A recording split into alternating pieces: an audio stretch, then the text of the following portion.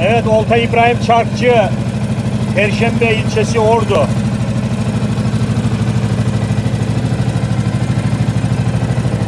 Çinakop, istavrit karışık. Allah bin bereket versin.